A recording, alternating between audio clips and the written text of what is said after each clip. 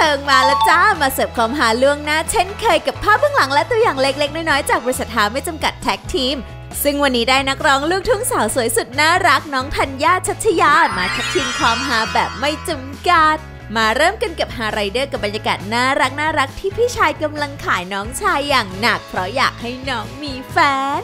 อะอย่างที่คบกันกันมาเป็นแบบสักปีสองปีอย่างเงี้ยน้องพี่เนี่ยแอบไปนวดแล้วจับได้ไปให้เงินหมอนวดพันหนึ่งเงี้ยโกรธไหม เอาไม่เป็นไรมั้งคะถ้าเขาให้หนูเยอะกว่า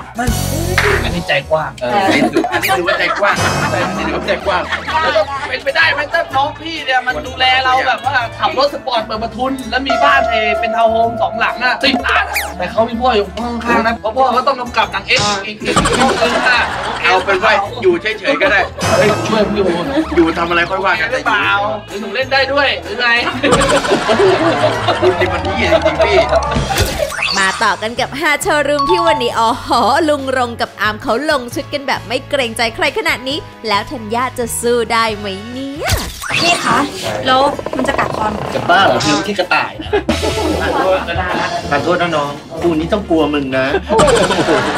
จบฉากภาพเบื้องหลังไปแล้วเรามาดูไฮไลท์ของเทปนี้กันดีกว่ากับฉากห้องเชือดที่เรื่องไม่น่าเป็นเรื่องก็เป็นเรื่องมาจนได้ เพราะเหตุเกิดจาก AirPod กับ AirPod วันนี้มาห้องพี่นิกกี้มีอะไรให้ช่วยจ๊ะอ๋อพอดีว่าจะมายืม AirPod จ้ะค่ะของหนูมันหายเจ้า airport ไหนมี airport ดอนเมืองกับ airport สุวรรณภูมิ เอ๊ะเป็นไง เป็นไง พัฒนาพัฒนา คือยังไงวะผมไม่เข้าใจว่ะไม่ AirPod นี่คือมันเล่นมุกไง หูฟังไอ้ที่ใส่หู เออ แต่นิกกี้มันเล่นเป็นมุกไง airport ไง airport ดอนเมือง สนามบินอะ อะไรอย่างเงี้ยหนังบินเหรอสุวรรณภูมิเหรอ airport นะ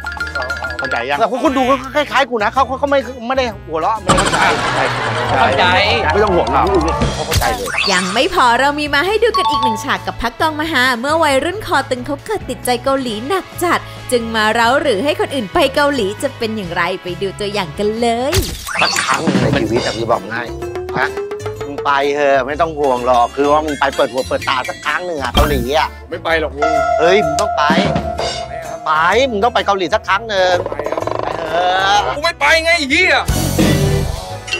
จังเลยเกาลงเกาหลีเนี่ยไอ้สัตว์โดนคนอย่างนี้คนอย่างนี้โบ๊ะโบ๊ะเดี๋ยวกูเลือกเกาหลีกูได้ยินอย่างนั้นก็เตะปากเลย และก่อนจากกันเช่นเคยมาฟังความรู้สึกของน้องธัญญากันว่าการได้มาเล่นรายการตลกซิทคอมครั้งแรกนั้นเป็นยังไงบ้างตอนแรกก็เกรงๆค่ะ แต่ว่าพอได้เข้าไปเล่นจริง ๆ ก็ผ่อนคลาย เพราะว่าพี่ๆก็ entertain ดี แล้วก็เป็นกันเองมากๆเลยค่ะ ในทีมงานฮาร่วมกันชอบใครมากที่สุดชอบพี่แจ็คแฟนฉันค่ะพี่แจ็คสายหื่นดีค่ะ